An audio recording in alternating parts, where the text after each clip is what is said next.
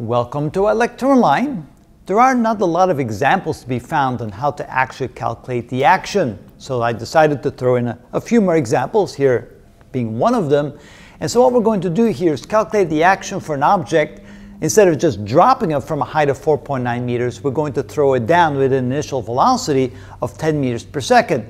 Of course, then it reaches the ground a lot faster, so we'll have to find time in the air here as well.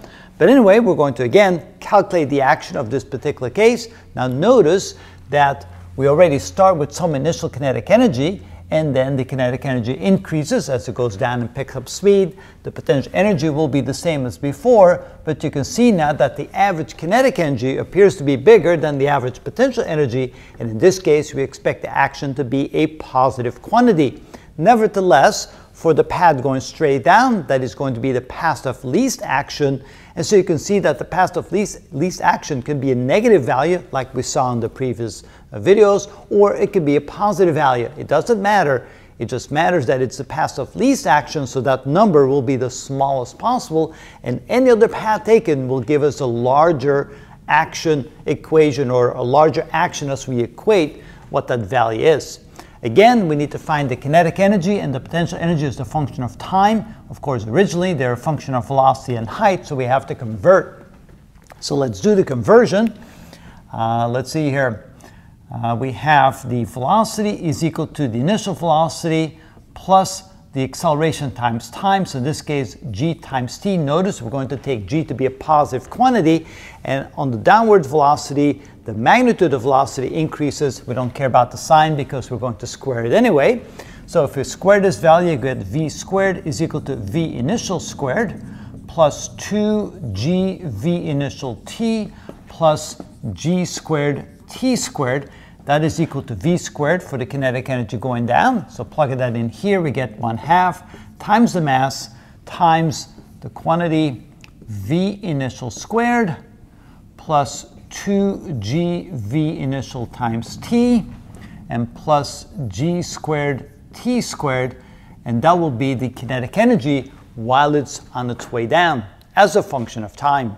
Now we need to find the height as a function of time. So here we have to say that y equals y sub naught plus v sub naught in the y direction times time plus 1 half gt squared. Now in this case, since we're moving downward, the height is going to decrease. So we need to make that a negative and the velocity is in the negative direction. So we also need to make this a negative because we start from an initial height, but it's being decreased by this term and it's being decreased by that term. So that goes in our equation right here. So we end up with mg times the initial height, so h initial minus v initial times time, and minus 1 half gt squared, like that. And so that gives us the potential energy. Now we also need to find time in the air. Now, time in the air can be found by equating this right here. So we have final height is 0, Initial height is 4.9. This is minus 10 times t and minus 4.9 t squared. And that's a quadratic equation that we have to solve uh, to solve for, um, for t. First, let's make everything positive.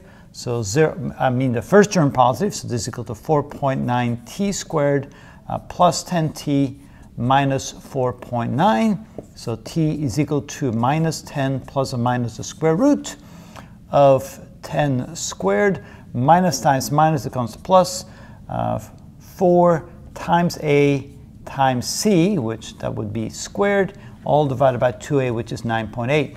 All right, so let's find the time in the air, which we're going to need when we integrate over the time interval. So we have 100 plus 4.9 squared times 4 equals, that's 196. Um, so minus 10. So what's the square? That's 14. So let's, um, I need some space here. How about here? So we have t equals minus 10 plus or minus 196, take the square root, that gives us 14, all divided by 9.8. So negative that doesn't work. We need positive times. So 4 divided by 9.8, 4 divided by 9.8 equals 0.408 seconds. So time equals 0.408 seconds, the time that it takes for the object to go down. So just let's let's just simply simplify it to about 0.4 seconds for the time for it to come down to make things a little bit easier to work with. All right, now we're ready to integrate. So, least action, S equals the integral from 0 to 0.4. Kinetic energy would be 1 half m times v initial squared plus 2gv initial times t plus g squared t squared times dt minus the integral from 0 to 0.4 potential energy mg times h initial minus v initial times time minus 1 half gt squared and that's also times dt. So once we do that integral, that'll be the action for that path, and presumably the least action. So let's continue. S equals, uh, we have 1 half times the mass, which is 1 kilogram, times, this will be v initial squared times t plus 2g v initial t squared divided by 2, so the 2's cancel, plus g squared t cubed over 3, evaluated from 0 to 0.4, minus mg, that would be uh, 1 times 9.8 times h initial times t minus v initial times t squared over 2 and minus 1 half g t cubed over 3, like this. Okay, now we just have to evaluate it. Well, I need 0 to 0.4. Now we just need to plug in all the values, evaluate everything, and let's see what we get. S equals 1 half times V initial, that would be 10 squared, that would be 100 times, we plug in the limit, 0.4. Plug in zeros, we get nothing, so we don't have to worry about the lower limit, uh, plus 9.8 times 10 times 0.4 squared plus 9.8 squared. Uh, let's see here, we have a 1 half in here. Well, we'll worry about that later. Uh, that would be times 0.4 cubed minus. And let's put a bracket around that.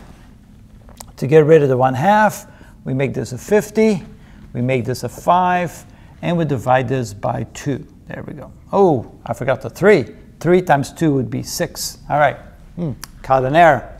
Minus this 9.8 times, here we have the height initial, which is 4.9, times the time, 0.4, minus 10 divided by 2, which is 5 times 0.4 squared. And here we have minus 1 half, minus 1 sixth, g 9.8 times 0.4 cubed, all divided by 6.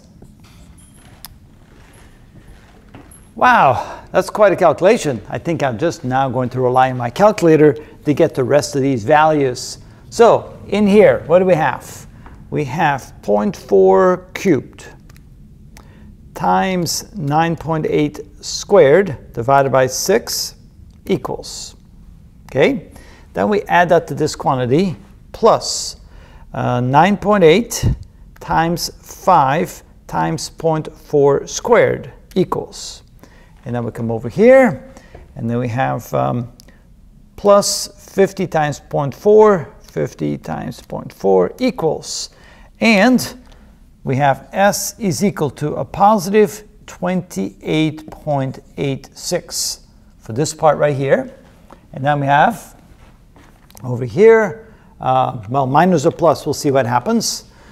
We have uh, 4.9, 4.9 times 0.4 minus 5 times 0.4 squared minus 9.8 times 0.4 cubed divided by 6 equals, it is a positive value, times 9.8 equals, so minus 10.34